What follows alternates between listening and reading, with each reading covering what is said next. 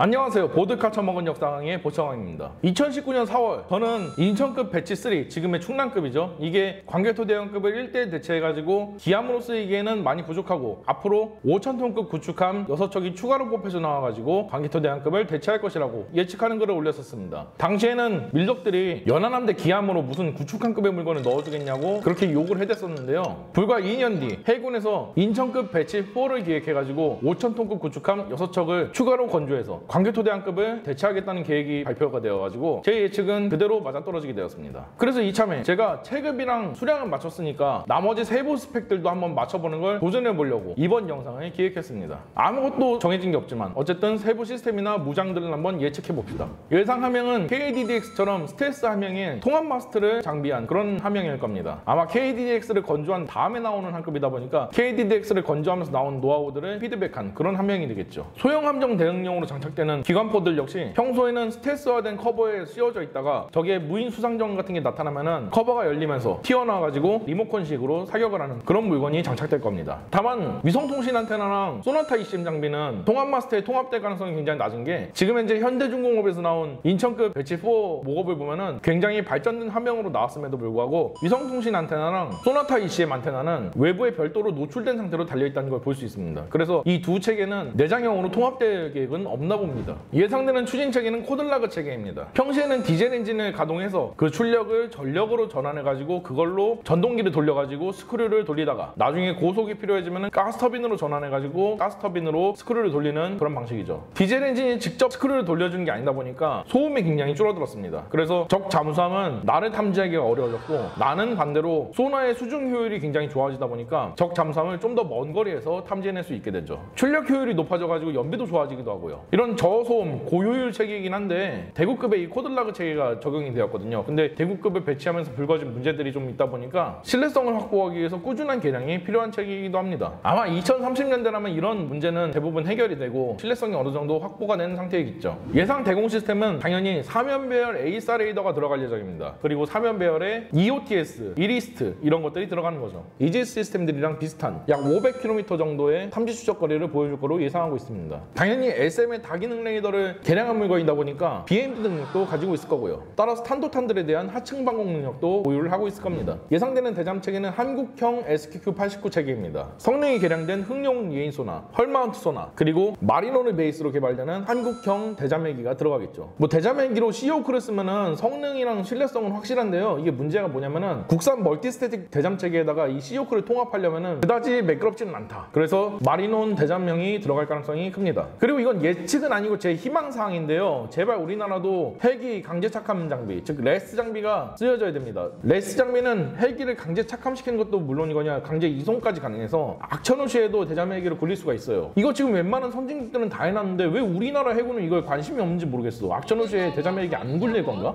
함대 방공 미사일은 SM의 항공기 요격용 버전인 AAM의 해상형이 본명합니다. 국산 대공 체계에다가 미제 대공 미사일을 갖다 인티하려면 당연히 인티 비용도 많이 들고 여러모로 무리수죠. 그리고 미래에는 중국이나 북한의 대한 탄도탄들이 아군 연안함대 기함에 저격을 시도해볼 가능성도 있어가지고 탄도탄 하층 방공까지 가능한 SM의 ABM 버전 즉 탄도미사일 유격탄도 해상형이 개발돼서 들어갈 겁니다. 심지어 SM을 개량한 SM2가 동시에 개발되고 있고 이거는 실제로 만약에 해상형이 개발된다면 SM2랑 동시기에 개발되는 거라서 시기도 일치해요. 근데 SM2가 ABM 버전이 유격 고도가 40에서 100km 정도거든요. 그래서 40에서 100km 고도는 SM2의 ABM 해상형이 맞고 요격고도 40km 이하는 SM의 AAM 버전이 맞는 방식으로 탄도탄 요격을 진행할 겁니다. 한마디로 SM의 AAM 버전은 SM6의 포지션, ABM 버전은 SM3의 포지션이라고 보시면 되죠. 단거리 계안방공 체계는 지금 현재 나오고 있는 해공 대공 미사일이 달릴 가능성이 큽니다. 아마 그리고 계량형이 달릴 거예요. 계량형에서는 듀얼 펄스 로켓을 장비한다는데 듀얼 펄스 로켓은 고체 연료를 두 번 태워주는 물건이거든요. 그렇기 때문에 사거리가 길어지고 종말 돌입 시에 에너지를 어느 정도 보존한 상태에서 들어갈 수가 있어요. 있습니다. 즉 요격률이 상승하겠죠. 듀얼 펄스로켓 적용 시에는 지금 현재 ESSM이랑 비슷한 사거리를 달성할 수 있습니다. 약 50에서 60km 정도를 날아갈 수 있죠. 그리고 훨씬 더 재밍이 강력하고 자립 유도 거리가 긴 KA 밴드의 RF 실커가 달릴 가능성이 큽니다. 예상되는 CUS는 현재 개발되고 있는 CUS2 체계예요. 30mm 어벤저 기관포에다가 사면 배열 에이서 탐색 레이더를 달고 일면 배열에 메인 추적 레이더를 달아놓은 물건인데요. 사면 배열의 탐색 레이더가 전방위를 탐색하다가 표적들이 발견되면 스스로 요격 순서를 쭉쭉쭉 짜가지고 해가지고 메인 추적 레이더가 하나하나씩 추적해가면서 요격을 하는 방식이라 가지고 동시단목표 대응이 굉장히 뛰어납니다. 이 점은 보청강 채널의 KCM 영상을 보고 오시면 훨씬 더 이해가 빠르실 겁니다. 예상되는 대한미사일은 한국형 초음속 대한미사일입니다. 재작년에 이미 공개가 되었죠. 종말 돌입 속도 마하 4.5에 달하는 엄청난 물건입니다. 한국군이 요구한 미사일 크기상 경사발사대에서도 간신히 달 수 있는 수준이긴 한데요. 그거는 구형 함정들한테는 달아준 용도로 쓸 거고 신형 함들은 경사발사대가 공간 효율 자체가 안 좋고 미사일 발사하면은 가판에 끝 발름난거 그거 가판병들이 낑낑대면서 또 깡깡이질 해야 되거든 원형인 야운트처럼 수직 발사 체계를 이용할 가능성이 큽니다 그러면 스텔스성도 증대가 되겠죠 자세한 내용은 보청 채널에 한국형 초음속 대한미사일 영상을 보고 오시면 이해가 빠르실 겁니다 대장 로켓은 홍상어 대장 로켓의 개량이 될 겁니다 이미 배치 초기부터 말이 좀 많았던 체계라 가지고 지속 개량돼 가지고 나올 거고요 앞에 달려있는 청상어 같은 경우에도 계속해서 개량형이 나오고 있거든요 특히 청상어 경원에는 별도로 3연발 튜브에 달려가지고 스텔스화된 개폐식 커버에 평소에는 가려져 있다가 나오가쏠 아. 때만 커버를 열고 나와가지고 쏘는 방식으로 운영이 될 건데요. 청상 같은 경우에는 미래에 날아오는 적 어뢰에 대한 능동 하드킬 기능까지 추가가 될 가능성이 높습니다. 그래서 전투함의 방어용 어뢰로 쓸 수 있을 거로 기대가 됩니다. 예상 무장 시스템은 KVLS2 16셀이랑 KVLS1 32셀이 될 겁니다. 기존의 KVLS1으로 따지자면 총합해서 인천급 배치4는 64셀에 KVLS1을 장착하는 것과 같은 효과를 발휘하게 되는 거죠. 그러니까 화력 덕후분들은 안심하고 생업에 종사해 주십시오. 예상 한 포는 5인치 KMK 45한 포입니다 완전 사골포네요. 맨날 달리네. 어떤 분들은 이렇게 말하기도 해요. 원래 광개토대왕급이 해병대가 상륙할 때 상륙지에 대한 화력 지원을 하려고 일부러 5인치 오토멜라라 한 포를 달았거든요. 그래서 그 임무를 승계하느라 KMK 45보다 훨씬 더 화력이 좋은 155mm